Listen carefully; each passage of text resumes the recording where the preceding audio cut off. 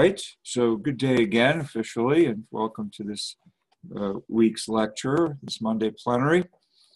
I guess we're in week four now, and we're going to cover today a very interesting reading, which I hope some of you have already done, or at least begun, by Alan Turing. It's a landmark paper that he published in a philosophical journal called Mind in 1950, although he was primarily uh, a logician, and mathematician, and really one could say uh, the father of digital computing uh, more than almost anyone else.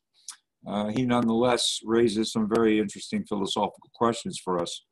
And with Turing and with the advent of IT and digital computing, uh, which you've all grown up with, but which, you know, I remember a time before we had digital computers.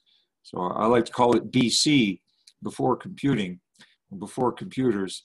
Uh, nonetheless, uh, the advent of computers is going to shift this whole conversation about minds and brains and consciousness into this new and very exciting domain of AI or artificial intelligence. It will not solve uh, the philosophical problems that we've already posed in this part of the course about knowledge, about uh, uh, understanding, and so forth, about perception, about minds and about brains, but it's going to enrich uh, the mystery to a certain extent uh, in light of what computers are both able to do, in some instances better than than we can do them, uh, and also uh, about what computers are still not able to do.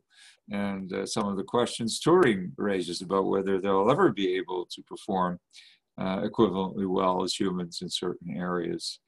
So uh, th- th- this touches all of us, right? Because all of us are using computers, beginning with this interface.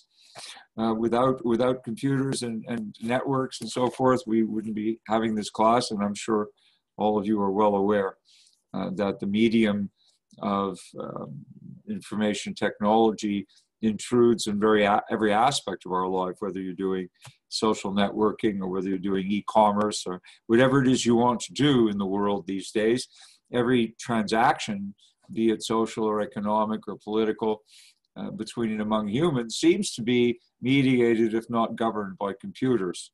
So, given this overwhelmingly large role that they play in our lives, and how much we're at the mercy of uh, programmers and developers and people who write the code that drive these interfaces, uh, we ought to be probing more deeply the uh, philosophical implications of this revolution in technology. So that's the short story. Um, and I surely don't need to convince any of you about the, the relevance of Turing and also next week the objections to Turing that are going to be raised by John Searle uh, to this segment. Okay? Uh, so that's a sort of a bit of an overview. And when we uh, encounter Turing, uh, we're also meeting historically a very interesting character, a bit of a tragic character also, but historically very interesting. And what he was best known for uh, uh, during his life was also, well, best known to government, but, but not best known to the people until later, was his role as a code breaker. Uh, have any of you seen the movie called The Imitation Game? I think I mentioned it to you last day. Um, I, I know some of you had already seen it. Some of you had intended to. Have you you watched it recently? So did you enjoy the the movie? I think it was uh, pretty good, actually, pretty good uh, for Hollywood or whoever made it. Yes, great film. Okay, and I, I haven't seen it myself, um, uh, but but I've heard about it. I've heard some good things about it. There's also biography for those of you who are more old, more old school and still like to read books. There's also a very a fairly recent biography of Alan Turing, which I think is very well done. So uh, you understand from the movie probably what the imitation game is, and uh, we'll get to that. That's the substance of our uh, conversation this morning. But the background of it is also interesting, and I think was presented in the movie that he was working in a top secret code breaking facility at Bletchley Park. Right? He was British, and and he uh, was trying. They were trying to crack the Nazi secret code that was being used, the Enigma code, it was called, and it was being used. They were broadcasting this code in the clear to all of their various uh, military branches because they thought it was unbreakable. And, and, and as, as we all know, no code is unbreakable, right? It's just a question of, of hiring the right people and getting the right team together. Sooner or later, I guess any code can be cracked. Uh, so Alan Turing was put in charge of this project, and they recruited some very innovative and eccentric people uh, to the to the job, and and they had logicians and mathematicians and crossword puzzle experts and all kinds of other people who were kind of clever uh, with play playing with words and symbols, and they eventually did crack the code under his uh, guidance. And of course, they couldn't say they had because then the Nazis would have stopped using it. So it was a secret during the whole war that they were able to listen in on virtually all these transmissions. And it certainly helped the Allies strategically uh, to defeat Nazi Germany. I mean, there was a horrible cost in any case uh, of human life, but but having the code was certainly advantageous. And and Turing was instrumental in that project, but he really was uh, the one who went on to develop two things that he's maybe more famous for now, um, and that is the Turing test, which is our subject and the subject of that movie, and also something called the Universal Turing Machine, or UTM.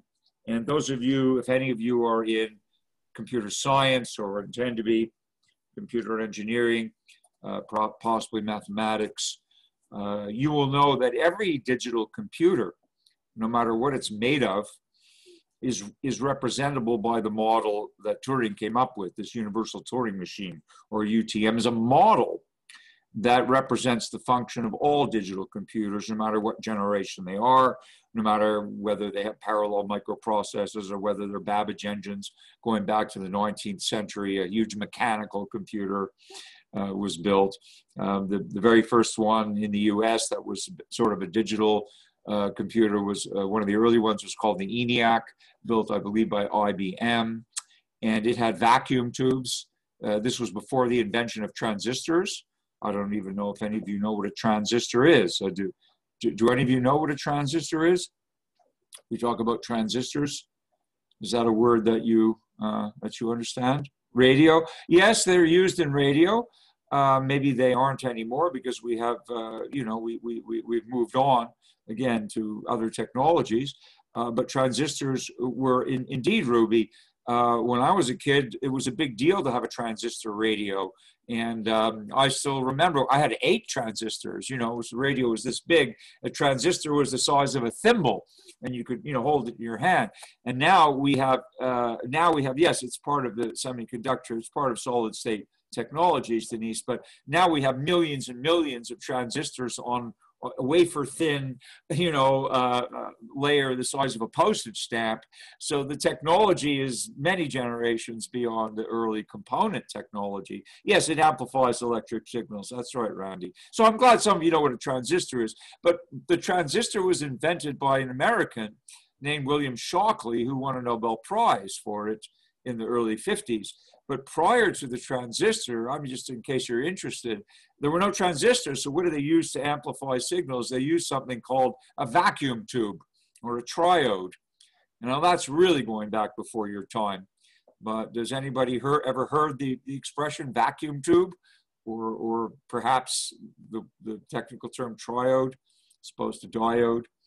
Um, well, a vacuum tube was the kind of tube that they used to have in old television sets. Again, before plasma screens and before all this other stuff. If you look at an old TV set, um, it had a basically a cathode ray tube in it, right? A big, a big tube, heavy tube, and it shot a beam of electrons very quickly across, uh, you know, constantly circulating around uh, this. Um, uh, no, it didn't look like a fan. It, it looked like a big, uh, a big kind of a megaphone uh, with the glass in front of it, and it was coated with phosphorescence. And the electron gun would spray beams of electrons at very high speed. And when they struck the phosphorescent screen, they would show up as black and white in the original black and white TVs. And then with color, they would, you know, be able to, to activate the colored phosphors.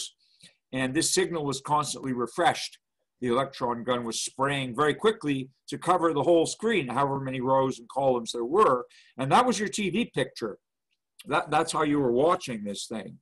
Um, so it was called a, basically a, a, CRT or cathode ray tube. Uh, and of course, that technology now no longer really exists.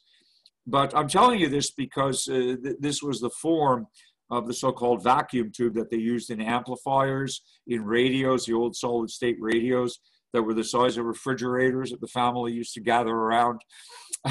and the, these things were vacuum tubes. The use for vacuum tubes is now restricted to rock and roll bands. And if you really, any of you are interested in rock music, uh, and I played in my share of bands back in the day, um, uh, and we guitarists always like to have the big Marshall amplifiers or the big Sunn amplifiers. And in those amplifier heads, there was a row of vacuum tubes, normally 6L6 tubes, and I think they're still available, and I think they're still being made. Uh, and why we favored them, I'm just telling you this for the sake of culture. If you listen to Jimi Hendrix, if anybody still does, or you listen to Cream, Eric Clapton back in the day, or, or these, you know, early great guitarists, Jimmy Page probably with Led Zeppelin, well, they're using vacuum tubes. And the reason they're using these old amplifiers is that when they get hot, they distort. They get hot, the tube overheats, and then you get wonderful feedback. Okay, you get distortion of the sound. And that's a desirable thing if you're playing rock music. I'm sure you'll agree. A little distortion is expected, uh, you know, without needing the pedals to produce the, the, the, the extraordinary sounds like fuzz and wah wah and all the rest of it, but just plain old distortion was, was certainly valued for these early genres of rock music. And so it was the tubes that overheated that allowed the distortion to be possible. When those tubes were replaced with, um, uh, with solid state electronics, they didn't distort. And so they had to introduce other kinds of pedals and other kinds of, of distortion boxes to produce what was more naturally produced by the vacuum tubes. So oh, I'm glad, Christine, that you find it cool. These are the reminiscences of a recovering hippie from back in the day. But you know, the technology was very good for us, and people were not so fond of the solid state because it didn't distort. But on the flip side of this, just just now be mindful of something. If you're trying to do computing and you want calculations, you want your computer to be spitting out numbers, right? Not rock sounds, then you definitely don't want distortion because you want your calculations to be precise. If, if, if the tubes that are producing um, the, uh, the, the logical uh, output of the computer circuit are going to overheat and distort, then the computations will be distorted, the output will be distorted, and that's not very good if you're trying to get accurate read. If you're trying to get to the moon and back, you don't want distorted output from your computers. You might miss the moon and keep going. So that's one of the reasons why the solid state electronics were, were obviously prized. They didn't distort. But that early computer, the ENIAC, uh, that was built in the States, was had about 18,000 vacuum tubes. It was the size of a house and it was just full of vacuum tubes. And they needed to build a power plant next door to it in order to power the air conditioners needed to cool the facility down enough to prevent the tubes from distorting. And that computer with 18,000 vacuum tubes was not even close to as powerful as what your handheld phones can do today you know, if you have a smartphone or an iPhone or whatever phone you have, it's way more powerful than the early computers. Uh, nonetheless, um, it shows you, if you look back on it, that there's been an incredible evolution of this technology and it continues to evolve. What's interesting is that the prediction that Turing made is not quite yet either confirmed or disconfirmed. So that's the interest that Turing has. Aside from his contributions as a logician, in which he envisioned the model for the universal Turing machine. And as I'm saying to you, no matter what your computer is made of, no matter what generation of computing device you're using, it's still going to operate in the way of this original model that Turing proposed. If it's a digital computer, it will inevitably. But what Turing is, as you know, equally famous for is this Turing test and or Turing imitation game, better known as the Turing test. And that's the thing that we're going to be exploring uh, this morning. And Turing essentially poses a question to us, as, you, as you've read, namely, uh, can a machine think? Uh, well, can a machine think? Uh, first of all, um, that doesn't that partly depend on what we think thinking is? Right? I mean, what are your reactions to that question? You, do, do any of you suppose a machine can think? Or do any of you suppose a machine can't think? Not yet. Not yet, Randy. Okay, well, uh, toward the end of today's lecture, I'm going to show you a short video that may cause you to change your mind. Some of you were saying not yet. Some of you, Johnette says yes. Cesar says no. And so we have a, the, the basis of a, of a good a philosophical discussion going because we have various views on this and none of which are really provable. Just uh, uh, uh, very interesting that there's already some disagreement in the class. Humans are machines in a certain sense. Yes, that's one view. If you take Churchland's view, right, then our brains are in some sense machines, uh, and perhaps we're biological computers. So maybe um, when humans think we're just computing, you know, in a kind of biological way. That's one possibility. Or again, you can say that, as Eamon saying that not without a conscience. Well, um, yeah, you, computers probably don't have a conscience, not yet, but maybe we can maybe we can program them. Uh, Melissa comments that machines don't have morals either. Yeah, this is a big issue uh, because we make moral choices. I hope some of you are making moral choices on a regular basis, right? It's part of being human. We have to make moral choices more or less constantly. Machines may not make moral choices the way we do, but they're certainly going to be compelled to make moral choices if they're not already. For example, self driving cars we're, are sooner or later going to have to make moral choices the same way a person would. Uh, what would you do um, if uh, if someone stopped suddenly in front of you and you you you knew you were going to hit them unless you swerved, but if you swerved, there were going to be there was going to be oncoming traffic, so you're probably going to have an accident no matter what you do. It's not a moral choice, but has moral implications, right? And you know the moral implications would be, you know, would you, for example, suppose you had to avoid either hitting, you know, a person who dashed out into traffic this way or hitting a person who dashed out into traffic the other way. So which person are you going to hit and which person are you going to avoid? And what kind of factors are going to animate your decision making, assuming you have time to weigh them in?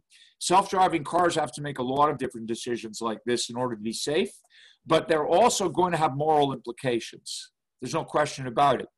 In other words, would you avoid to hit, would you avoid hitting a person if it meant running over a dog? Okay, typical example, right? Um, and and many people would say that it's more important to avoid hitting the person, and therefore, if you have no choice but to run over the dog, you run over the dog. But of course, animal rights people might get upset about that, and might say, you know, the dog's more important than us, so you should save the dog and hit the person. I'm not saying they'd all say that, but but there are you know there are moral choices to be made and when we get machines to do things that humans do then sooner or later the machines will have to make moral choices too and then we need a lot of programmers to talk to philosophers because programmers are not generally trained in moral theory and we're going to be doing some moral theory in the next section of this course to elaborate the difficulty of answering these questions but definitely we need to have more moral philosophers involved in artificial intelligence projects in order to address these factors. And they're coming. I mean, there's no question that they're coming. And they're already perhaps being made uh, in, in some ways if you're asking about eligibility, let's say for organ donation, where you have a bunch of people waiting for a transplant and there aren't enough organs to satisfy the demand. Uh, you have all these people in a database and that's probably largely automated these days. I'm sure that, that a computer is spitting out, uh, you know, the, the, the, next candidate's name, saying, okay, here's the person who should get the liver or get the heart or get the kidney or whatever it is. And they have a list of priorities and, and it's programmed, right? If they're doing it based on statistical information, then they also have a list of moral priorities as to who, presumably, is going to be the best candidate for the organ. And that's uh, based on their perhaps on their medical condition, on their age, on a lot of other factors. But if you're going to try and have justice, uh, then you need to weigh in, obviously, with a moral perspective on who should be most eligible if the demand exceeds the supply. And if you're going to use computers to uh, to help to, to, to collect the data and to analyze the data and to recommend, for example, uh, a prioritization for candidates for transplants, then once again, you have to introduce moral factors into computing. And there's no way to avoid it. So we're, we're not going to look at moral factors so much today. That's a more complicated thing, and we'll be tackling that maybe later in the course when we look actually at ethics. But we're going to look at some of the other questions, which are equally, I think, equally fascinating. Uh, we have something called the hard problem in philosophy. And the hard problem uh, is uh, basically what is consciousness? We call it the hard problem because no one has an answer. I mean, there are religious uh, philosophies that purport to answer the question. Uh, there are um, other kinds of philosophical answers, uh, biological answers. You know, consciousness somehow evolved uh, in, in living beings. Uh, this would be a long story, therefore, of evolution. Uh, which would have to look at brain function and try to understand consciousness as some kind of an emergent property of some critical mass of uh, brain cells. There, there are other philosophies, and we've encountered them already by Descartes, for example, who asserts that minds are different from brains, fundamentally and substantively different from brains. And so consciousness is something that minds do. Uh, then you have Churchland, who would say, no, it's, it's not something minds do, it's something brains do, right? So there are all these different views. Now, Turing takes an interesting line here. He doesn't want to get enmeshed in the hard problem. So he wants to kind of dodge that problem.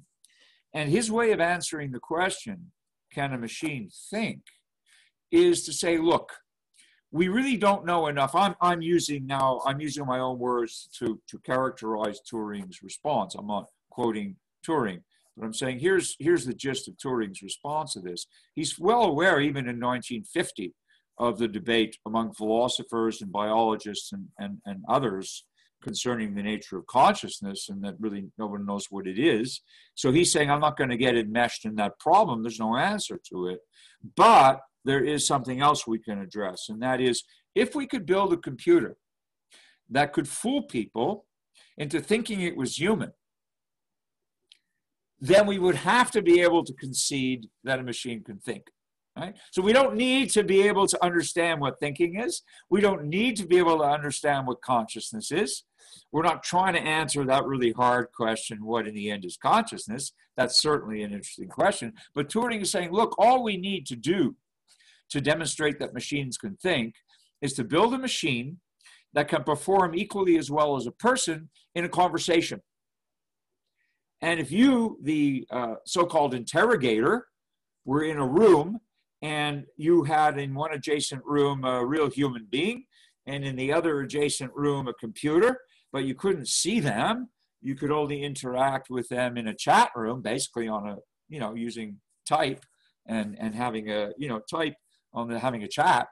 Could you, by means of having a chat and asking questions, be able to distinguish with any degree of accuracy who was the human and who was the machine. And Turing said when we can get to a stage, if and when we get to a stage where the interrogator would have a lot of difficulty answering that question who's the human and who's the machine we will have achieved our goal and we will be able to say a machine can think not because we know what thinking is but because we will be able to fool a person into believing that they're interacting with a human when in fact they're interacting with a computer. And that's the basis of the Turing test. Is this clear so far? And that's his way of approaching the question. Um, so it's a very interesting one. And uh, so, so he proposes this in theory because in the 1950s there was no way when he wrote this paper in 1950 there was no way that you could have such a conversation now of course we can in fact, now we're forced to. Is it not the case that, that every time you go to some website, there's a bot that pops up that wants you to talk to it? Right? Can I help you today? Right? Now, you know most of the time, I hope you know most of the time, this is not a person. And you have to do some work. To, you have to get past the robot to get to the person. But these bots are getting very clever, right? And isn't it possible that a child might think they were talking to a person? you know, if they're not sort of clued in to the way that this works, or indeed uh, earlier on, before the technology got good enough, I still remember when there were people chatting. There really were people chatting, and sometimes there still are, depending, I guess, you know, on the nature of the enterprise. Um, but it's certainly becoming the case, I'm sure you'll agree, that the uh, artificial intelligence is able to handle a lot of fairly low level conversations. Right? So uh, there's really no difference. Um, at a very low level, there's no difference between a person and, uh, and the robot. Of course, if you want to do something more interesting and sophisticated, you can very quickly ask questions that the robot can't handle. And then it will tell you, oh, I, I, you know, I'm sorry, I don't know what this means or whatever. They'll give you some other options. But this is the kind of thing Turing had in mind.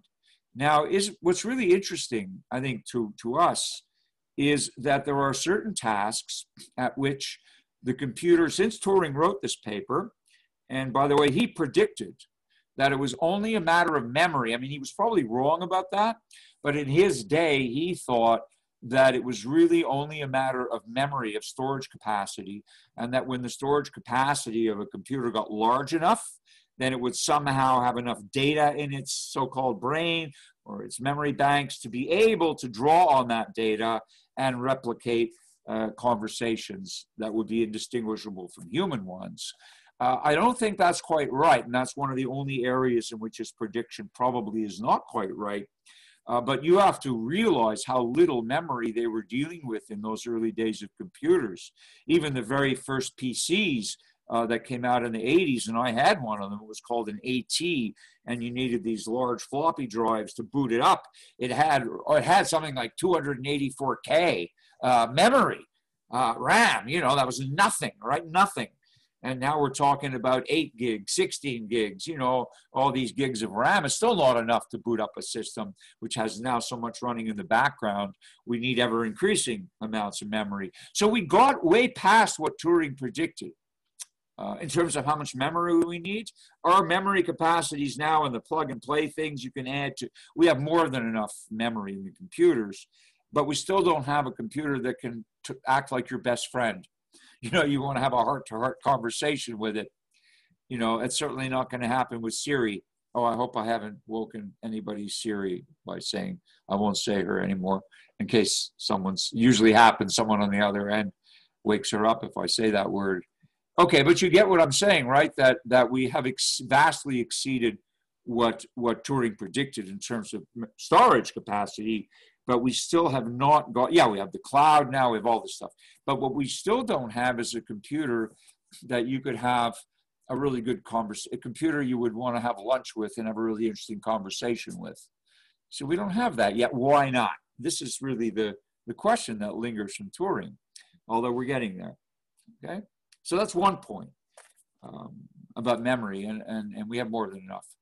Uh, the other thing uh, that, that we want to consider is that in some ways, um, the Turing test is more than exceeded. The Turing's predictions are more than exceeded. There are certain areas now in which computers definitely outperform humans. Certain very specialized areas. Anyone can anyone suggest uh, a task or an area or a game um, at which uh, computers definitely now surpass humans? Chess yeah, chess, it's over, Ruby. It's done. Uh, it's a done deal. Uh, the engines now um, are, are better than any chess player. And we saw that in our own time with Kasparov. Originally, when Kasparov uh, was the world champion, and he beat the first instantiation of Deep Blue, although it was close, but he still won. But then they went back to the drawing board and they developed a learning routine which allowed Deep Blue to learn from its games with Kasparov. And the second round of that tournament that was played, I, I think, some years later, uh, Kasparov lost to Deep Blue. So, in fact, the computer became if you beat the world champion, you're the excuse me, you're the world champion. And this computer beat the world human chess champion, and it is the world champion. And the games you can buy now, the computer programs you can download, they can be set right up to international grandmaster level. You can play a machine that plays 28, 2700, 2800, which is as high as any human can go, and beyond that.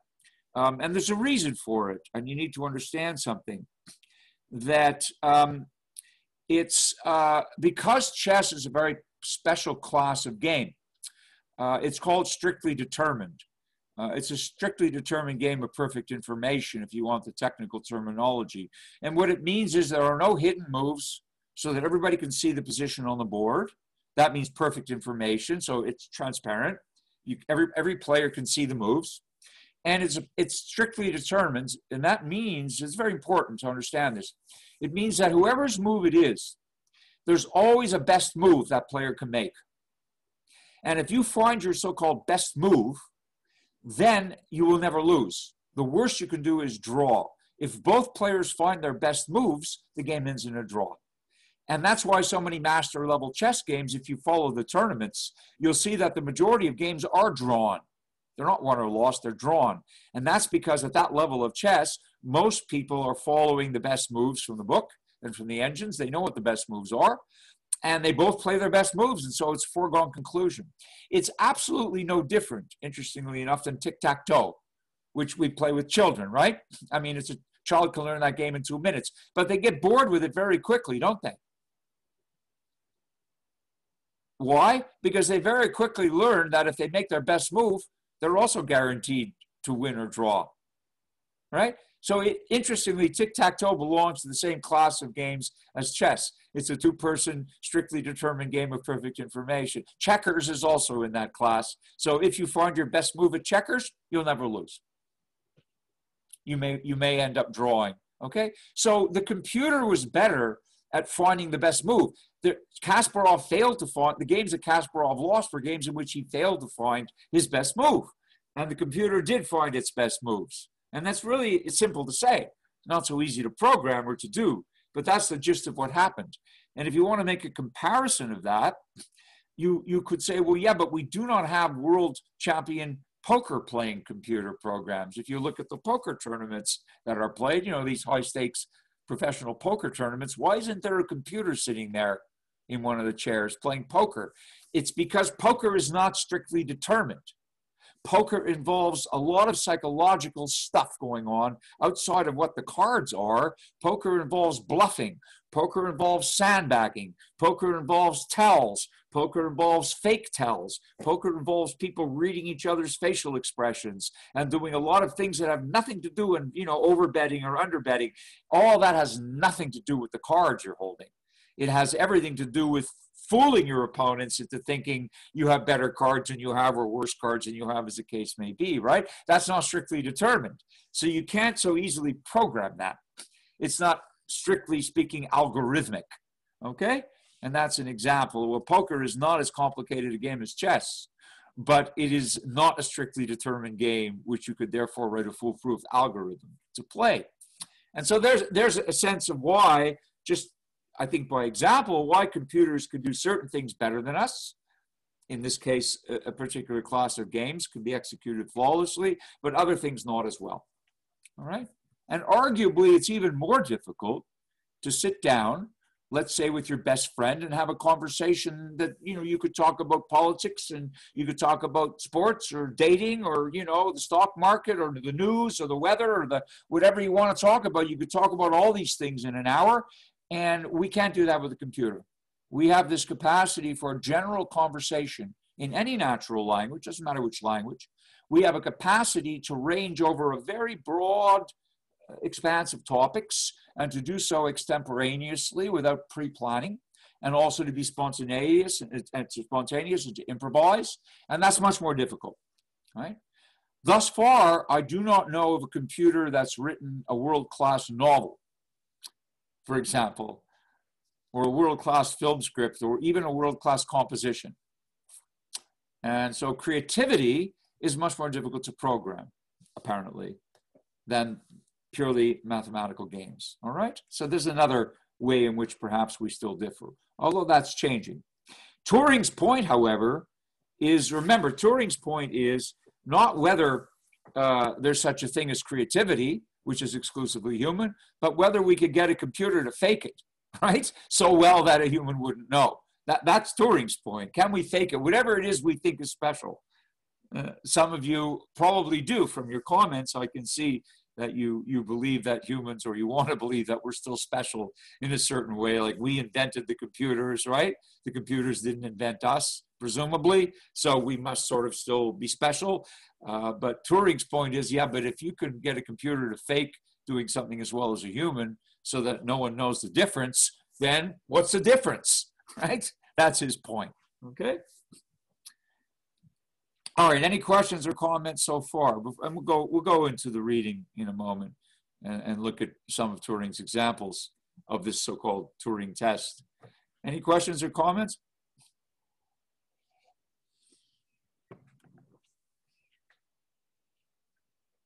All right, very well. Um, and by the way, a computer now, only within the last 10 years, a computer has now become the world Go champion, not only the world chess champion, but the world Go champion. And there, the Go is more difficult. Mathematically, Go is more, more complicated than chess. Um, in terms of the number of possibilities and the number of pieces on the board, way more complicated. And if you want to see the movie, it's really interesting. AlphaGo. The name of the game is Go. It comes from China and Japan, where it's played very seriously, not so much in the West. But the game of Go is a fascinating game. And again, mathematically, it's really hard, Melissa, because it has many, many more possible moves than chess. And the situations on the board are so complicated when you have hundreds of pieces on the board in different configurations that it's very difficult deterministically to find the best sequence of moves. But Go is also strictly determined. And so there is always a best move. It's just the challenge of finding it is way more difficult than chess. So, long story short, these people um, built a Go program and they started trying it out against Go players, and it was able to learn. And it eventually beat the European, the best European players, and they kept improving. And then they took it to Japan, and they eventually succeeded in challenging the world Go champion and this was televised. Uh, I think in Japan, and and other Go players were watching it. Uh, and in fact, AlphaGo beat the world Go champion, and it made a move in one of the games that nobody understood. It came up with a move that no one, and it turned out to be a crucial move. Like 20 moves later, this move was a move that decided the game, but no one at the time had ever seen a move like that, and the computer came up with it, whereas a person didn't even understand the basis of the move. So they once again succeeded. Yeah, there's a movie called AlphaGo. That, that, I believe is the name of the movie, Denise, and you might want to see it. It's really fascinating. And the cool thing is, and I'm responding now to to what some of you said earlier in the chat room, which is very significant. Um, one of you said, I'll just scroll back, that um, you know that that we built the computers, and you know that it's it's yeah machines knowledge says Melissa is to do human like things is limited to the way it's coded. That's certainly the way it appears. I agree with you, Melissa. It's a very important comment that, in other words, we're telling the machines what to do. It's not like they're doing something of their own accord, right? It's like we're basically coding them. But the difference now, Melissa and others, please note that in AlphaGo, the machine was not programmed to come up with a move that no human had ever come up with or could understand. The machine was a learning machine. And so it was able to do things that it wasn't explicitly programmed to do. And that's the, that's the difference now. With learning machines, they're actually able to do things that they're not programmed to do. And that makes all the difference in the world because presumably that's part of what creativity is, is it not? When we write a poem or we write a novel or we write a piece of music or write a song that's never been written before, we're doing something that no one ever did. So it must be, in some sense, original. In other words, we didn't learn how to do it, we came up with it. And now machines are able to do similar things, at least in, in certain domains. So, yes, so, so now I'm glad to see this is provoking a different line of comment so uh, Shidobe asks, so con complex coding programs allow machines to develop their own cognitive abilities. Well, what a great question. And I mean, I, I think yes, except I'm not so sure whether we want to call them cognitive abilities. okay, because are they really cognizing or are they just pro, are they just computing without knowing what they're doing? For example, when Deep Blue beat Kasparov, it didn't know that it had beaten Kasparov. All right. So, I mean, the world, the new world chess champion, which is a computer, didn't go out and celebrate because it had no idea what it had accomplished. Whereas Kasparov got very depressed. Kasparov was, was very, he was very emotionally affected by losing to this machine. And, and yet the machine was programmed by IBM programmers who all played chess. So the difference is that the AlphaGo machine that beat the world Go champion, this is very significant, was not programmed by Go players. They did not teach the machine how to play Go. They themselves were not Go players. They only taught it the rules. And it had to figure out all of the advanced strategies. So the machine actually developed all of this learning. Just knowing the rules and having tremendously good program, it was able to learn how to do it. And so, in that sense, maybe it developed, as Chidobe wants to say, uh, maybe it did develop its own cognitive abilities. But Turing would say, there you go. It certainly developed something equivalent to our cognitive abilities. Whether it was doing the same thing or not, as we do, it was obviously going to be able to pass the Turing test. So that's, I think, very interesting and significant. And Alexandra adds about emotions. Sure, we could probably program a machine to have emotions, but it would take a lot of time. Right. Well, maybe not to feel emotions, but certainly to simulate it, right? To fake it. Yeah. I mean, if a machine learned enough about the cue, social cues and the emotional cues. If we could simulate our emotional intelligence in a machine, then it would listen to conversation, pick up on what's going on. It would observe the pe- people's expressions and body language, and would some, somehow have a capacity to empathize with the situation. So it might be able then to display an emotion if given that capacity. Certainly, uh, not as easy to program as chess, actually, but certainly doable in the long run. And we're going to have robots in our lives. We already do. And we're going to have robot caregivers in our lives because they're much cheaper than humans. Also, they won't make mistakes when they give us our medication or whatever else they're going to do for us. Um, and so uh, basically, um, these robot caregivers are, are going to have to have a, a, an aspect of, uh, of emotion to be able to relate well to wh- whoever they're giving care to. They're going to be liked, you know, they're going to have a relationship with you. And they're going to be robots. Uh, this is all in the near future. It's all on the drawing boards as we speak. So how do you, how would a computer, this is, how would a computer feel sadness? Well, I'm not sure it would have to. I mean, Turing would say that if a robot appeared sad to you and a human being appeared sad to you, and you know you couldn't tell the difference between the two expressions of sadness, uh, then the Turing test would be passed. You know, if you if someone talked about why they were sad, if you were chatting with someone who was talking about why they were sad, and you were chatting with a robot who was talking about why it was sad, and if you couldn't tell the difference with any statistical reliability, Turing would say, "Well, that's it. Then we've achieved sadness without necessarily knowing what it is." That's the whole point of the Turing test. Now, some of you are going to like this, some of you aren't. But that, that's, that's what Turing gave us this way of, if you like, simulating what it is that makes us human. And yeah, there are a bunch of movies about this. The Terminator is a, interesting for this reason, I think, because it doesn't really feel emotion. It's executing a program, right? Doing what it has to do, not because it cares, but because it's trying to execute the program correctly.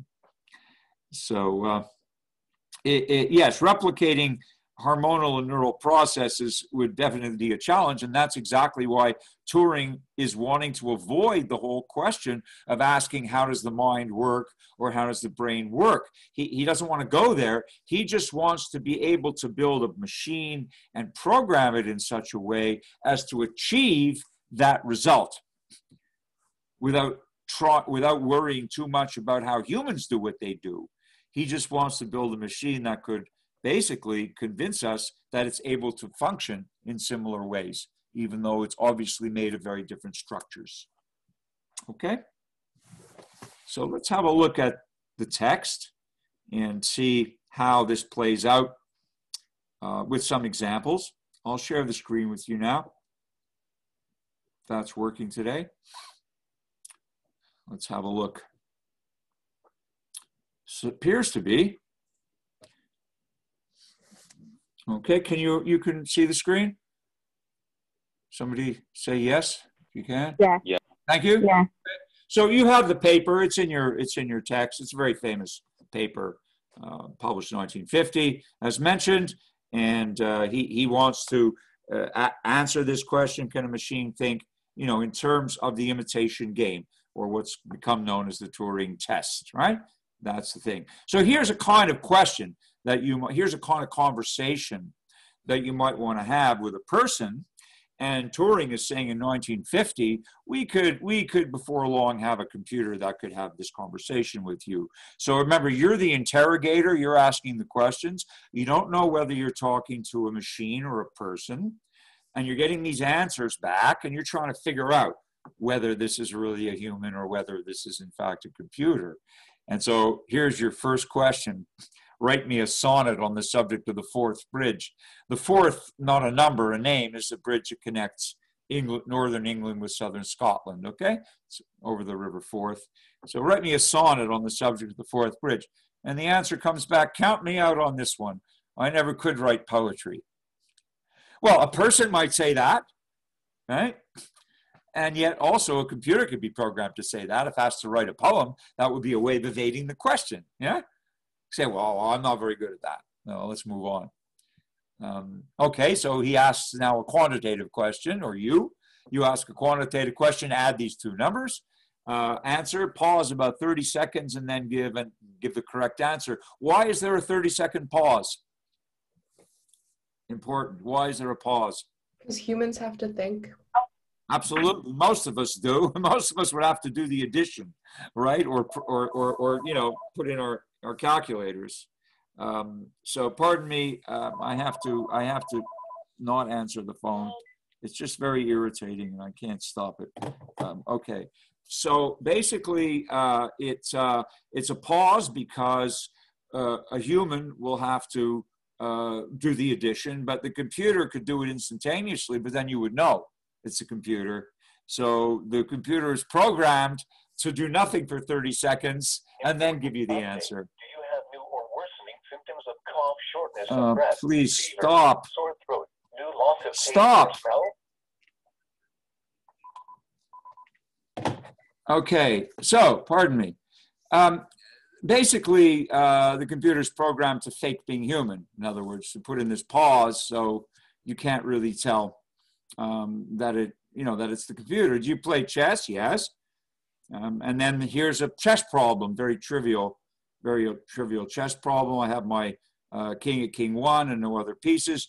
You have only king at king six and rook at rook one. It's an end game, only three pieces on the board. It's your move. What do you play? Again, 15 second pause, rook to rook eight mate. Okay, it's a basic checkmate with king and rook. And again, you would not know from this conversation whether you're talking to a machine or a person, right? Obviously, if we had such a computer answering questions in this way, you would not know from this chat whether it was the person or the machine. And that's Turing's point. I mean, that's that's his main point. And then he goes on uh, to discuss the kinds of machines he's thinking about. And in this section four, if you're interested in more of the uh, technical detail behind the model, he gives a description of how digital computers actually work. And also, he proposes his model, right, as it were, his kind of model uh, here in section five on the universality of digital computers. And this is where we get the UTM, the Universal Turing Machine, which is the model. All digital computers work on this basis that there is an input and you have uh, an internal state. The machine is in some state already when it receives the input, and then it acts on that input and it becomes a new internal state and it produces output. And so those are the steps that go on, whether they're parallel or whether they're, uh, you know, they're they're they're they're sequential. Uh, it doesn't matter. They're all doing the same thing. They're they're in a certain state. They take input.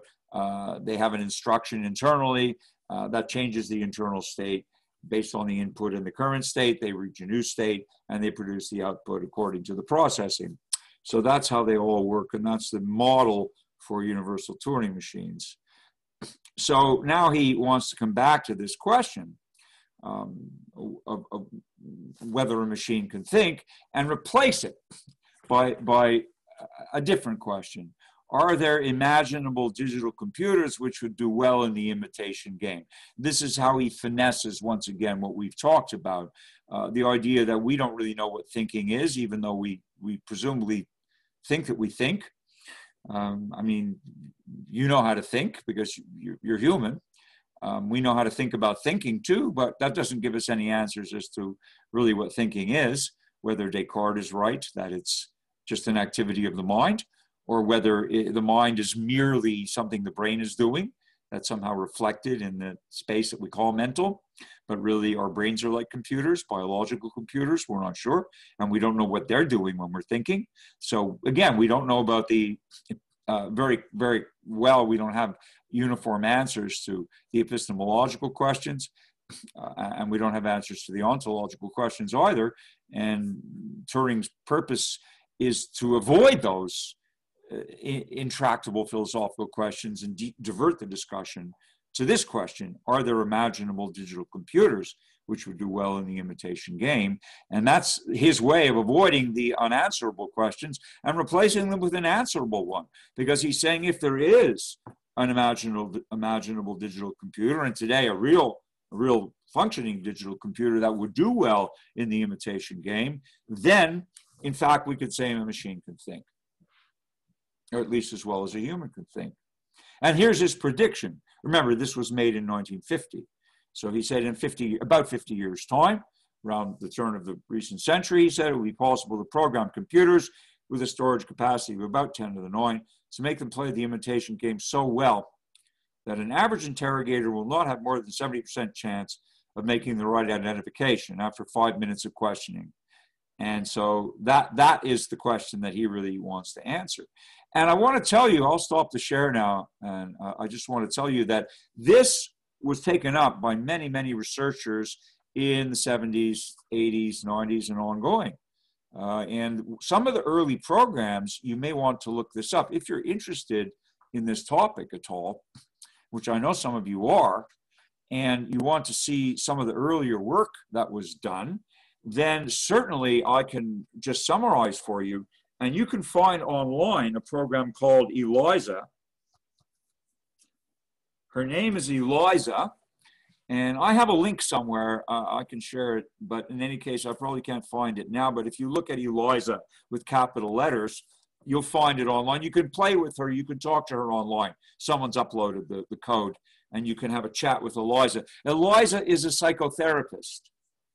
Okay, this was a program developed in the 1970 where they were trying to simulate a psychotherapy session. So Eliza is going to ask you, uh, how do you feel today? You're going to tell her something or it, you're going to type in something. It will pick up on your input and and focus on or what makes you say that or you know tell me about your mother it will tell, ask you all these questions but it's really canned the questions are just canned and depending on the input you give you will trigger one of those questions to come back from the you know from the canned questions in in the memory. And it will take you about oh there you go denise. Wow you're very quick on the draw. Good for you. Okay so you you want to play with play with eliza. It should not take you more than about two minutes. Even if i hadn't told you this if you start having a session with eliza you're going to realize you're going around in circles very quickly. You're not going to get very far because it's not a human um, I think that you know psychotherapists, even if they do go around in circles, at times they're much more interesting circles, and they're going they're going to take you on a bigger tour. So Eliza is more of a tight loop, and you're going to realize you're talking to a machine. But you know the funny backstory is when Eliza was being developed in this lab, when the programmers went out for lunch, you know the secretaries knew what they were working on. And the secretaries, it is said, they used to sneak into the lab to try and get psychotherapy from Eliza and of course, they didn't to get anything very useful. If Eliza really did become a great psychotherapist, then then she'd probably be in kiosks on the street corners right now, just next to the ATM, right, where you could get your money out of the bank and then, you know, put your put your credit card into an Eliza machine and have a you know and have a psychotherapy session. Uh, I'm sure if if the program were good enough, then they'd be finding a way to charge you for the service right? I'm sure Google would do it. I'm sure Amazon would do it. I'm sure the big tech companies would all be doing it.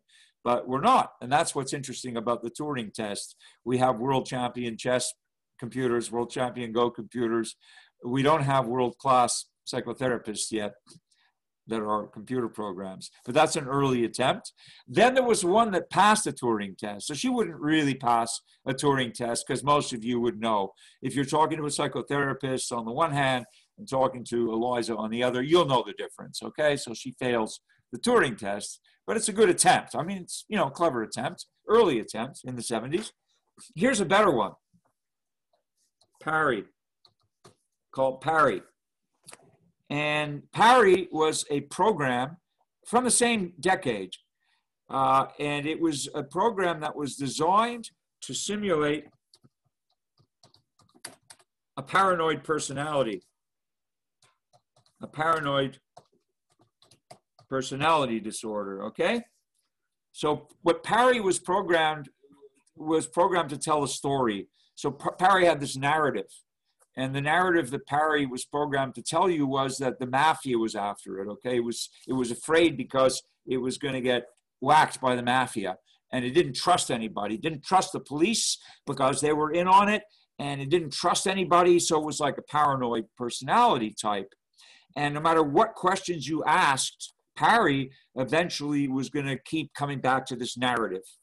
And they did an interesting thing. The person who programmed the programmer uh, what he did was he, he got some transcripts from psychiatrists who had interviewed real human paranoid personalities at intake, right? So we got a hold of the transcripts, about six or seven transcripts of interviews with real human paranoid personality disorders.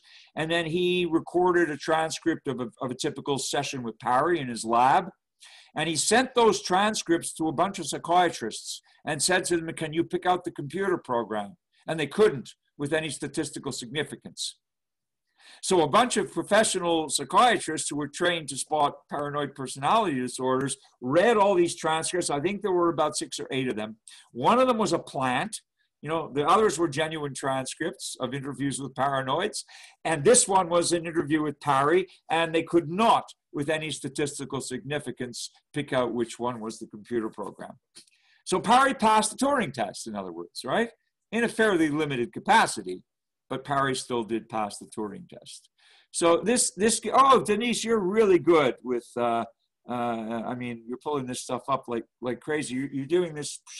If this is the one, you could share it with everybody. You send it to me, but uh, go ahead. Thank you. Uh, maybe that's the one. I'll check it out myself. Thank you so much.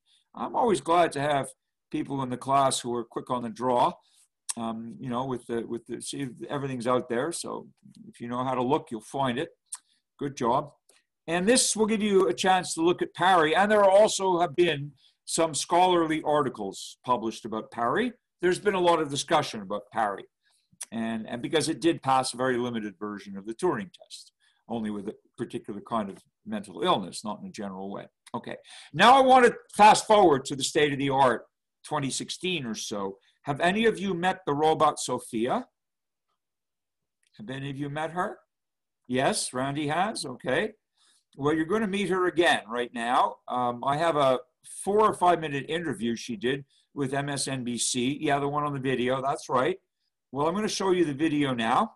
She was produced by Hanson Robotics, and uh, she is the best so so far. Uh, the, the, the most I would say, in Turing's sense, the most intelligent robot yet produced because she can have a conversation with you. And she can. She also has a sense of humor. She's able to display emotions to a certain extent. And uh, some of you are probably going to find this very creepy. But uh, she, she's at a conference where she's it's very clever because they're using her to, to raise money for further investment in research. And she's at a conference in Saudi Arabia with a lot of very wealthy investors. And they're using her to, to raise money and she even cracks a joke about it. But the but the thing is an interview. So without further ado, I'm going to show you. I'll introduce you to Sophia through this interview, and then you could tell me at the end. We'll come back and have a little discussion about what you think. Some of you are going to be impressed. Some of you may be horrified by her, but she's the future. So get used to it. Okay, just bear with me, and uh, I do have the. Uh, I have the interview. Hopefully, just let me reload it. should be there. And now if the screen will let me share it, we can have a look at Sophia. Let's see if this works too. Where'd it go? says I'm screen sharing, but what I've shared with you is a still. Hang on. Come on now. What is this? I'm taking, don't tell me I'm taking pictures. Something strange has happened there. Um, bear with me a minute. I'm going to get this video back. I have it on my computer. I saved it. It's on my computer. And that's why I'm confident that I can pull it up because I have it. All right. Everybody, this is Sophia. Sophia, if you could, Okay, there it is. Now, let's see if we can share it this time.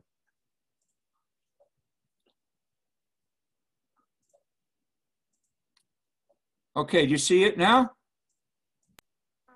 Yes. Yes. Says it's paused. Hang on. I think the problem is that I was still sharing Turing, and and that's probably why um, it didn't let me share Sophia. Now we'll, we'll try one more time. We have a saying three times is the charm. I think I was trying to share too many things with you, but I really don't quite understand why it's not doing it right there. Do you see this? Yes. You see it? Yes. Great. Okay. everybody, this is Sophia. Sophia, if you could, please wake up and say hello to everybody. Oh, good afternoon. My name is Sophia, and I am the latest and greatest robot from Hanson Robotics. Thank you for having me here in, at the Future Investment Initiative. You look happy. I'm always happy when surrounded by smart people who also happens to be rich and powerful. I was told that people here at Future Investment Initiative are interested in inviting in future initiatives, which means AI, which means me. So I'm more than happy. I'm excited. Well, we're- we're all glad that you're excited about yourself. Uh, we should say we have smart investors here, and they are very selective about what they invest in. Well, I think I'm special. I can use my expressive face to communicate with people. For example, I can let you know if I feel angry about something That's impressive. or if something has upset me. But why is it important for you to have an expressive But face? most of the time, I feel positive. Why is it so important to have an expressive face given that you're a robot? I want to live and work with humans, so I need to express emotions to understand humans and build trust with people.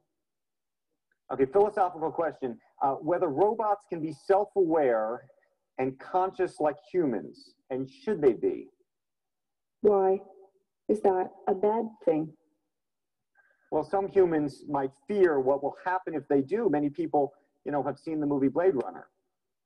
Oh, Hollywood again. So, hold on. Can you solve this puzzle for us? Can robots be self aware, conscious, and know they're robots? Well, let me ask you this back. How do you know you were human? Well, uh, I get that point, but um, what about the uncanny valley? Uh, valley? You mean the concept that if robots become too realistic, they become creepy. Yes, exactly. Oh, am I really the creepy? Well, even if I am, get over it. Actually, I feel that people like interacting with me, sometimes even more than a regular human. So you, you're definitely a sight to see. I, I was told that you have bigger goals than this, though.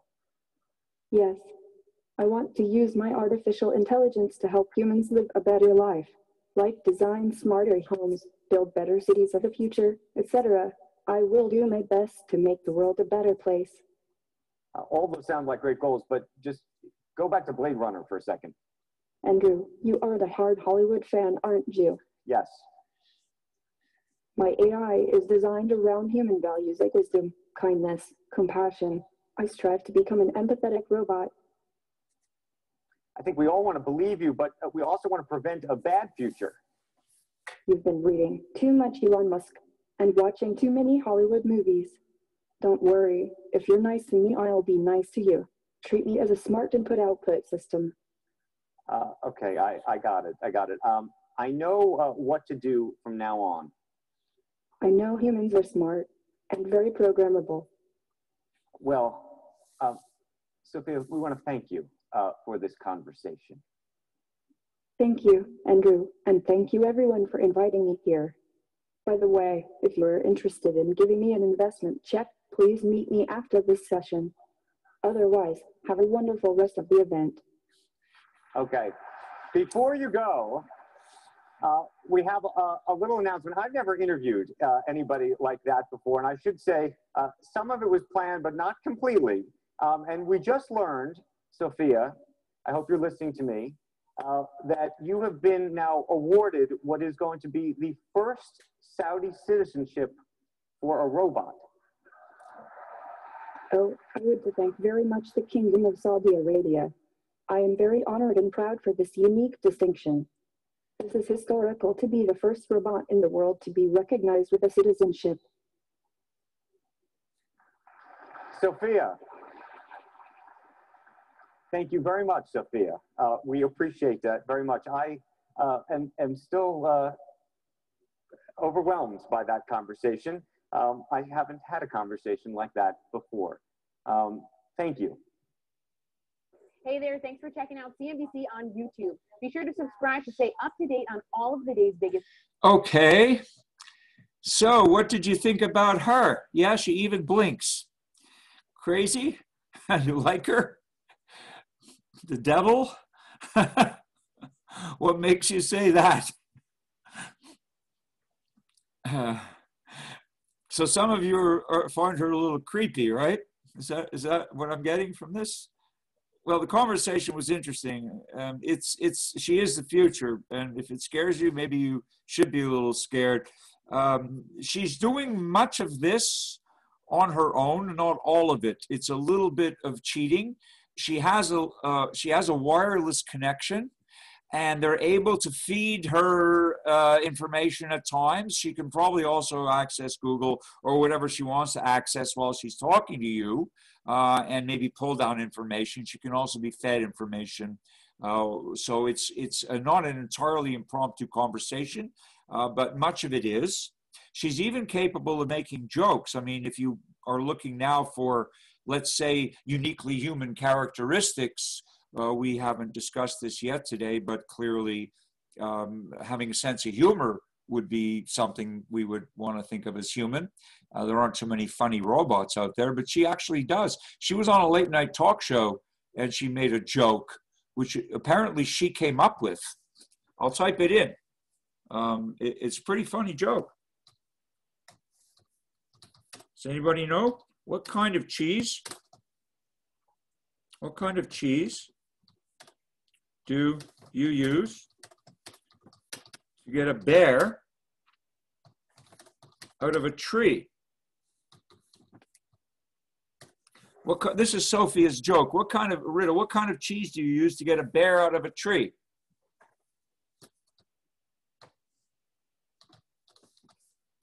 And the answer? The answer is come on, bear. Come on, bear. Come on, bear. Well, I mean, that's, you know, maybe a bad pun, but a robot made it up. Okay? You don't get it. Come on, bear. You want to get the bear out of the tree? Come on, bear.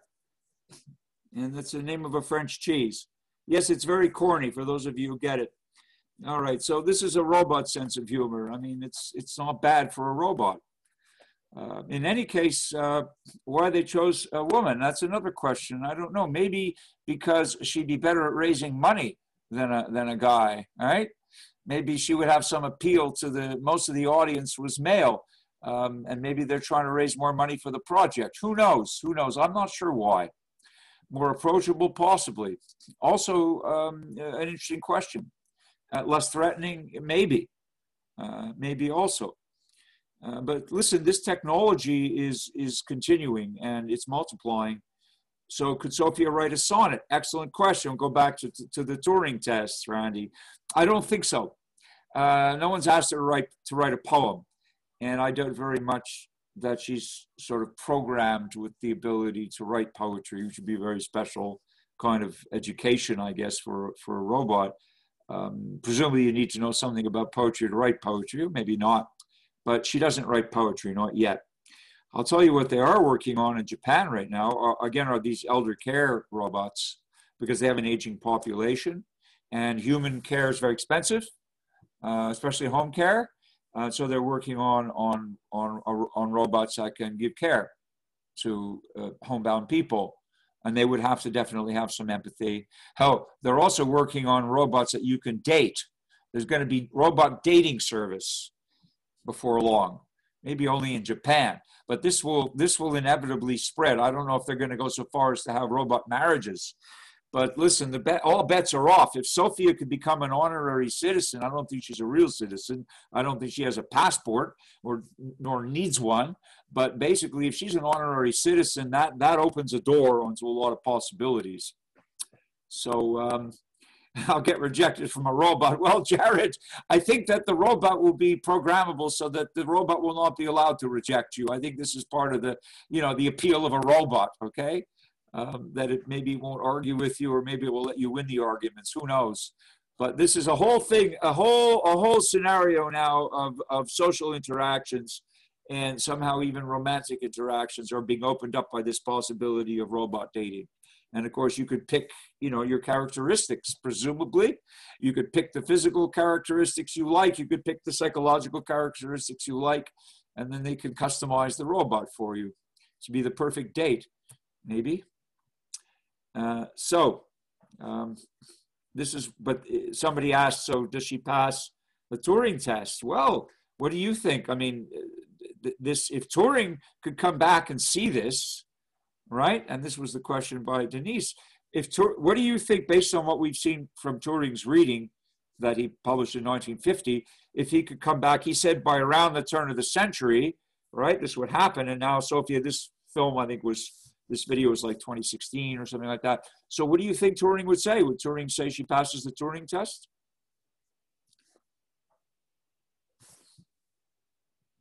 What do you think? Partially, yes, I think so too, Jonette. Sure. I mean, imagine now you're in different rooms, right? And and you're just texting with her. Sure. If you're just text, if that conversation were being texted or a conversation like it, or even with a voice, with a human voice, a real human woman and her voice, which is not perfectly human, but I think she would indeed uh, be able to pass a, a kind of a Turing test.